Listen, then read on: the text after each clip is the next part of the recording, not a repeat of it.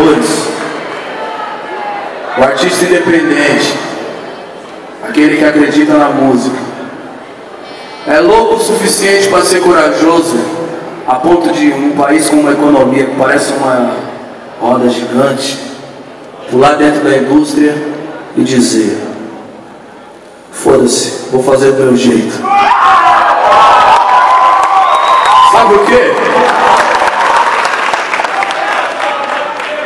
Os modelos atuais, na época em que começamos, não nos contemplavam.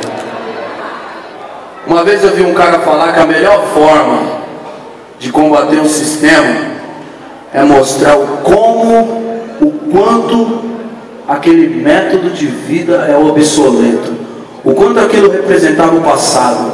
Quando a gente chegou aqui, mano, a música que a gente fazia, nem reconhecida como música era, tá ligado? Diziam que era uma simples, rasa apologia ao crime. Ninguém nunca prestou atenção no que essa música estava falando. Se basearam em todos os preconceitos que eles tinham e criaram um estereótipo a respeito da música que a gente fazia. A gente podia ter respondido com ódio, mas o ódio ele atrapalha sua capacidade de raciocínio. A gente precisa transcender o ódio. Tá ligado? Se a gente quiser vencer, a gente precisa transcender o ódio. O ódio, ele deve ser no máximo um combustível para que a gente exploda e atinja o soco onde ele tem que pegar.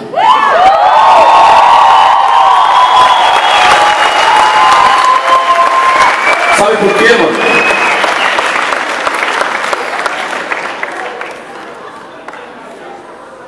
A gente fez umas camisetas, fez nossas mixtapes, tudo na mão. É muito louco porque hoje, tipo, 15 anos depois, 15, é bizarro como todo mundo acreditava. Todo mundo sempre acreditou. Curiosamente, deixaram para falar isso só quando nós não precisava mais ouvir.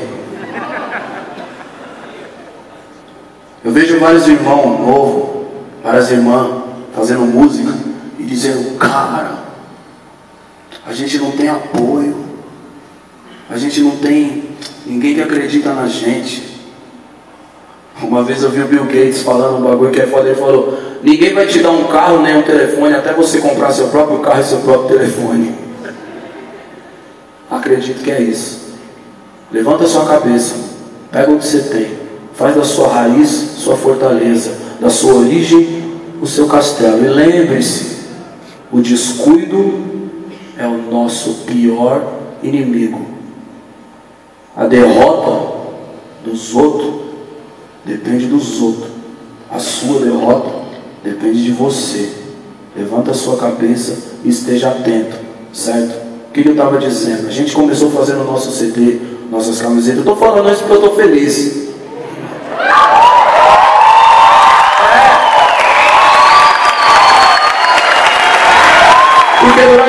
Tempo, vê que bagulho louco, vê a força disso, vê a força disso. Durante muito tempo, eu achei que a felicidade não era para nós. Que o sorriso não era para nós. Tá ligado? Vê as fotinhas do Emicida no começo, tudo mal encarado. Sério, eu sorri, eu me achava feio sorrir. A gente não devia sorrir. Tá ligado?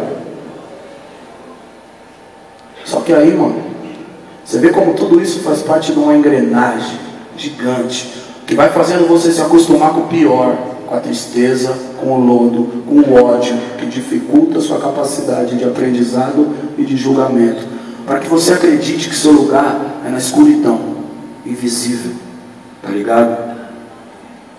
A gente conseguiu fazer uma parada mágica, mano, há dois anos atrás, que foi fazer um desfile de moda no São Paulo Fashion Week,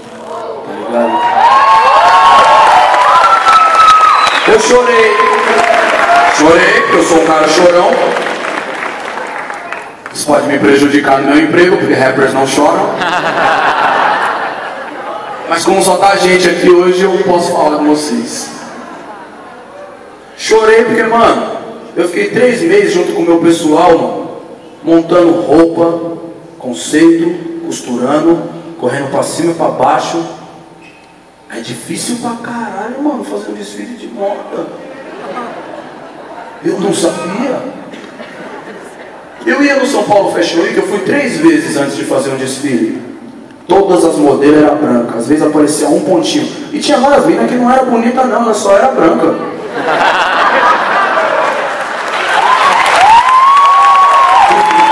Eu vi, eu tava lá.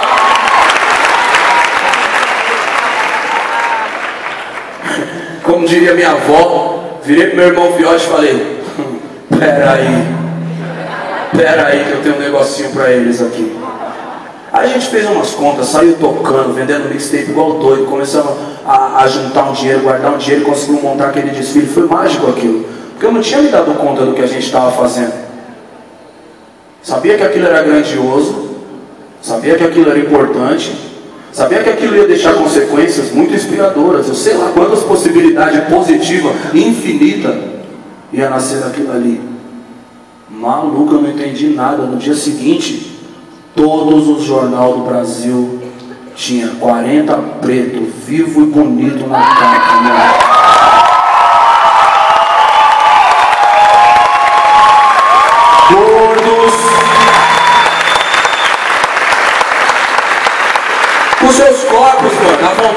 Bem, felizes. Sabe? Devolver esse barato aí. Eu falei pro Buiu na semana passada, falei pra ele, mano, os caras me chamavam de feio na escola. Aí eu pensei assim, o que, que eu posso mudar? Minha cara ou o padrão? Eu vou mudar o padrão, mano. Eu não quero mudar minha cara.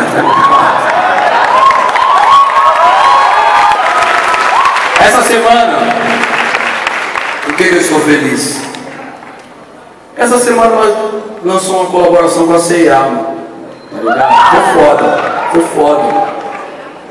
Por que, que foi foda, mano? Desde o começo, a gente sempre teve o sonho de conseguir colocar as roupas que a gente produzia para nós, mais próximo de quem se identificava da gente, por um preço acessível. E é difícil pra caramba você produzir isso aí, tá ligado? Quando a gente fez a primeira, veio uma pá de arrombado, desculpem as crianças. Mas essa é a palavra, falar, ah, mas os caras estão cobrando caro. Todo mundo pode cobrar o preço que quiser no produto que vende.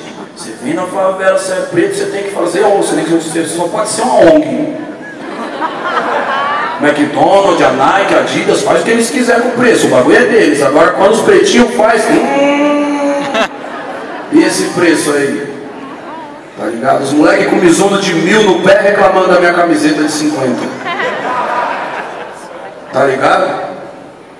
Falei, firmeza. 1 a 0 para 6. Pera aí. Você acha que 30 real é caro? Costura uma camiseta, desgraçado. Vê se você aceita ganhar isso aí. A gente conseguiu construir uma cadeia de respeito, mano. Onde todo mundo saía feliz e satisfeito. Desde a tiazinha que costurava lá numa favela na Brasilândia até o Emicida que estava na capa da revista. Nossa vitória não é singular. Singular não, individual. Singular ela é. Nossa, nossa vitória, ela é coletiva, mano. Tá ligado? Se não é todo mundo que está vencendo, então não é vitória. A vitória é do sistema. Tá ligado? A gente só acende sonhando junto. Tá ligado? Tô dizendo isso aí, mano. Porque vários de vocês têm um sonho. Vários de vocês são várias vezes desacreditados pela atmosfera, pelo ambiente, pelas pessoas. Pessoas que, inclusive desgostar da gente, faz a gente não acreditar no nosso sonho. E não é nem maldade. Às vezes é só um descuido.